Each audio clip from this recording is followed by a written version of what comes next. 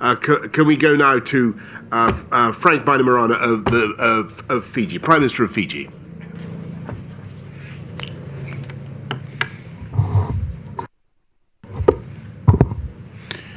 Thank you, Sir. Excellencies, Bula vinaka and good afternoon.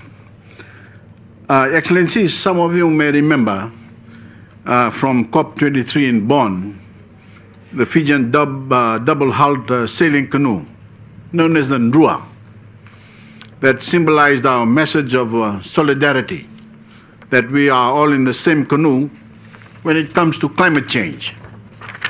As I speak, uh, Your Excellencies, our global canoe is headed for storms that will sink us while seawater pours aboard through massive gaps gaps in ambition, gaps in climate finance, and gaps in emissions reduction commitments.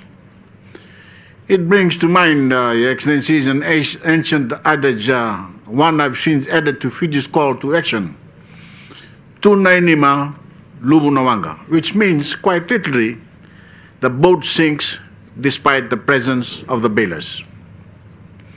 Island nations like Fiji have teaspoons with which to bail water. The G20 nations have buckets.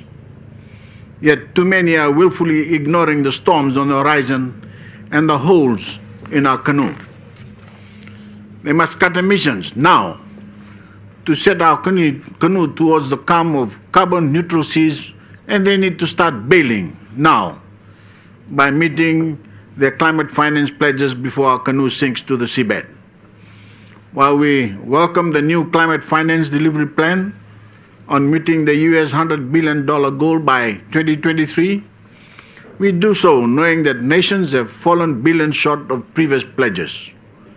And despite being the most climate vulnerable nations in the world, small island developing states have accessed a mere 2% of the available finance, which has mostly been through loans, forcing us to pay high interest rates to address climate driven impacts we did not cause. Wealthy nations do more than pledge finance.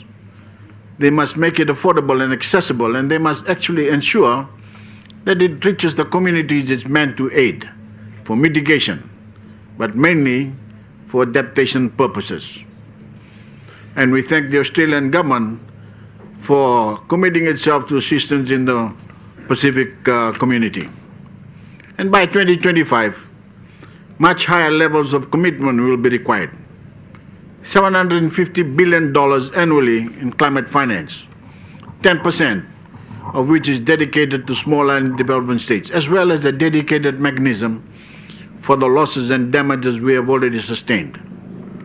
Wealthy nations spend trillions on defense partnerships and on weapons that can level entire communities. Surely we can spend billions to adopt them. How do we ensure that this is not uh, yet another empty, ta- empty ask? We can start by meeting the 2023 commitment. Another way would be to finalize Article 6, price carbon, and ensure emitters pay to adapt the communities they are devastating. This COP is where we will choose to stay with 1.5 or lose it forever. And it is where we decide whether we are with the young and future children of the world or we are against them. To all leaders here, the message of the Pacific is simple. Our canoe is sinking. Pick up your buckets and start bailing now before it's too late. Thank you. Thank you very much, Prime Minister.